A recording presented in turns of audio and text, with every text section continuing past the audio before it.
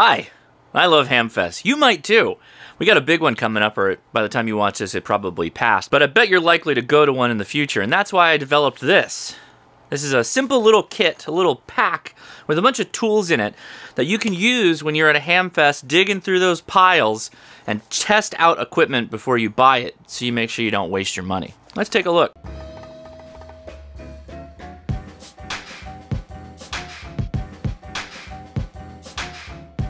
Let's take a look at this bad boy. In the front pocket, it's like a, I don't even know why people make uh, pockets like this. I think once upon a time these were supposed to be for cell phones. It's not really a radio pocket because there's no spot for the antenna, uh, but I have a Belka DX.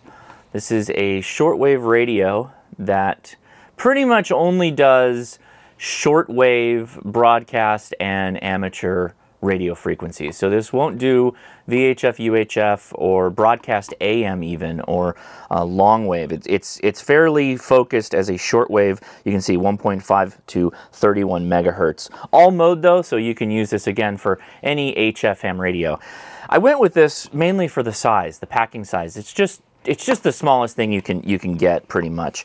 I, I will give a nod if somebody's looking for a replacement or something else. Uh, a really good universal type of receiver for this role would be something like the ICOM R30. These are now discontinued, so they're incredibly difficult to find. I did a review on this radio a long time ago, like two years now, and when I once I heard it was being discontinued, I had to go out and buy one. Very expensive though, very very expensive. This is not a scanner. This is a general coverage receiver, and yeah, it's it's 0.1 megahertz to 3,304.999 megahertz. So very wide-banded uh, receiver.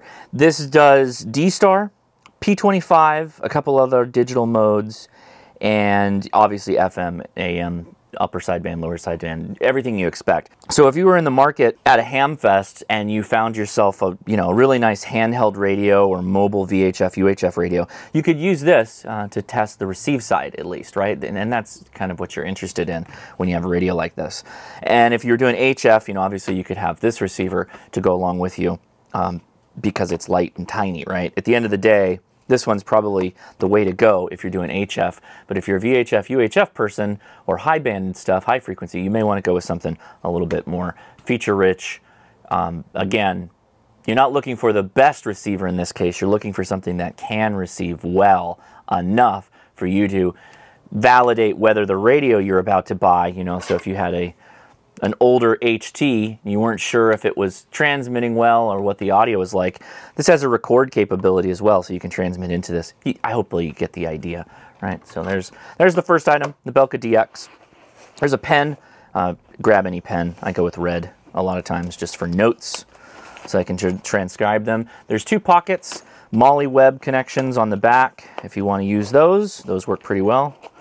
Not easy to clip back in though. All right, so first pocket on the outside, I have a Pokit meter uh, and an antenna and another antenna and a very interesting little case here. It's kind of like an Altoids tin. We'll get into this in a second. This guy's really cool. So a Pokit meter fills a couple of roles. It is a multimeter it is a data logger and it's an oscilloscope.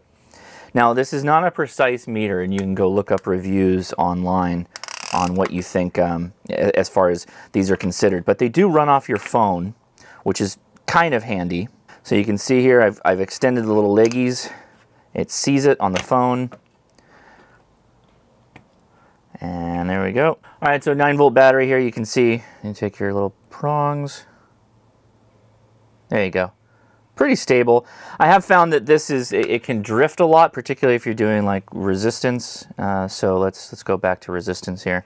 And let's just take this antenna and I'll push down real hard with the probes. And you'll see it kind of jumps around, which is not great. So if I, if I really try to get my hands in there and hold the probes down, even my subtle movements, it, it kind of jumps. However, continuity works well enough. Do the thing. There you go. Anyway, kind of useful for in some cases where you need a, a multimeter type thing. The oscilloscope does work as well, but it's also pretty slow, and I don't know how much of that you're going to get into when you're out at a ham fest digging through stuff, but it's nice to have.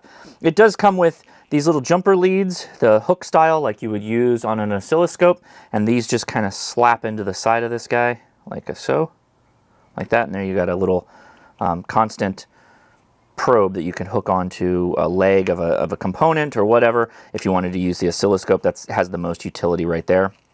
It also comes with a replacement fuse if you do blow it because this device has a 50, sorry, 60 volt uh, max cap capacity, and I think it, it uh, can only do about 2 amps. So you do have to be careful with this. It uh, It's super tiny, right? I mean, it's kind of to be expected, I guess, a little bit, that you'd baby this thing. It's, again, um, more for its size and convenience than, than anything else. So my, my, little, my little tin here, this QRPme has a Hamfest toolkit, as they call it. And it's a really interesting project. I built this on a live stream a while back. It comes with two leads, right? And it comes with, well, I provided the battery. And here, let me pull it out so you can get a better look at it. They do provide the tin, which I think is kind of cool, zomboids. And yeah, take, take a look at this thing. So what this does, and let me turn it so you can actually read it. There's two uh, stages for this. This will provide a constant voltage, so it's a, it's a mini power supply for like testing LEDs, um, meters in some cases. It will do frequency counting. It will test speakers by putting a tone through it. It has a um, 20 meter and 40 meter signal generation, so you can actually push down the button here and it'll generate a signal when you have the leads connected and it uses these as an antenna. So case in point, it's got, let's plug the battery in here and hook up the 20 meter, the post for 20 meters. You can see the signal there. So you can use this to test a receiver. And on the 2.5 volt little mark here, if we put that right in there, there's your LED tester. So you got that capability, which is kind of cool. Uh, fun pro tip, if you're gonna do the clock test to find out what crystal frequency is, you probably need to leave the leads long on resistor R17 and capacitor C17, right? Is that right? Uh, R17 and C12, sorry, which is right next to this trim pot. And then you have to go in there and actually adjust the trim pot base to get to uh, 2.5 volts, which I don't even know how I'm going to probe this because literally nowhere I can attach the probes. This is not... Boy, I wish this was in the instructions a little bit better. That would have been helpful, guys. Guys. Seriously, guys. Will that hold? That is not going to hold. Now, I can't do it two-handed. What am I supposed to do here? How? Why? Why, my guys? Why? Or, you know, leave me a test point or something. But uh, anyway, uh, so uh, this isn't going to be completely accurate then. All right, a little bitty speaker here. Let's get our test leads to go to speaker. So it's oscillating between the speaker inside the board and then this speaker.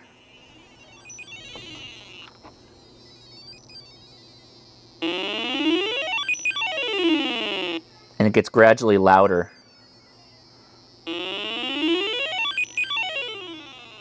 Pretty cool. Fun stuff. All right. So uh, yeah, you, you have to play around with it a little bit. You, you got a frequency.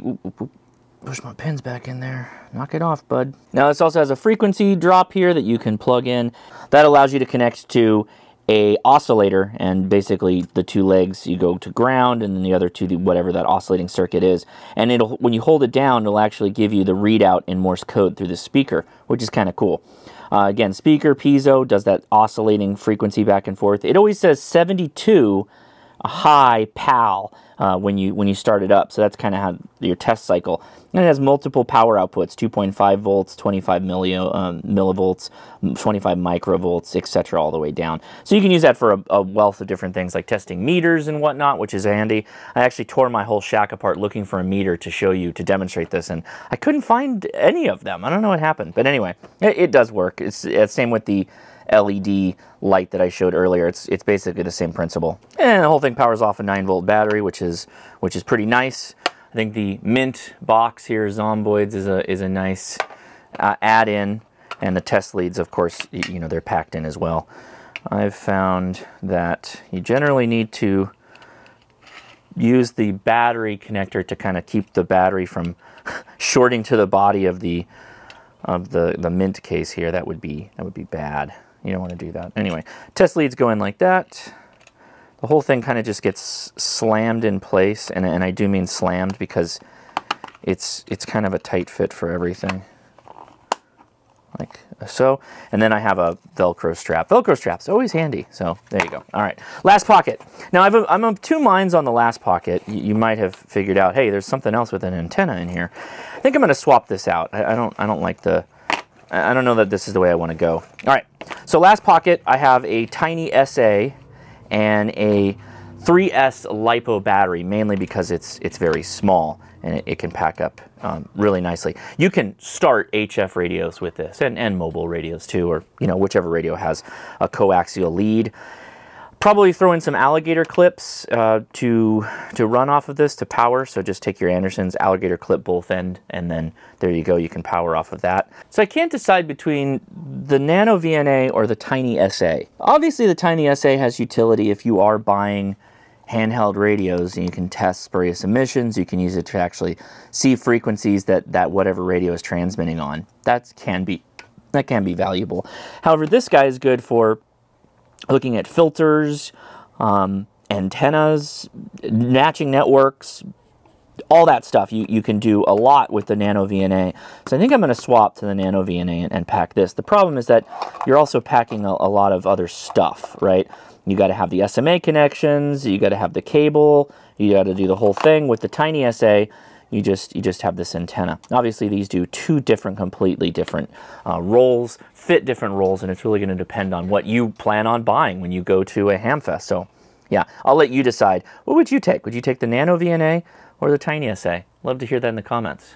Well, I think the Tiny SA is cool. Um, I realize that the Belka is doing the gross calculation of does the radio transmit, right? So I, I, think just going with the Belka and, and leaving that as my receiver to verify that the radio works is good enough in this case. So that's staying at home. Sorry, Tiny SA.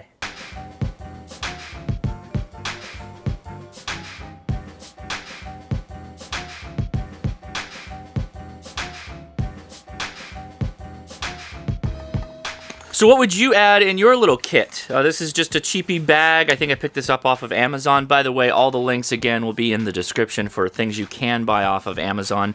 It's a system that can easily be replaced with, you know, your own different kind of radio, larger batteries. Put it in a bigger bag. You get the idea. I like to travel light, and this is pretty small, so that's why I went with it. Let me know what your thoughts are in the comments below. Appreciate you watching. If you enjoyed this, give me a thumbs up. Consider subscribing. Live stream every Saturday, 5 p.m. Pacific Standard Time, and every other week now for Ham Nation. I'm Josh KI6NAZ. You have a good week now. See ya.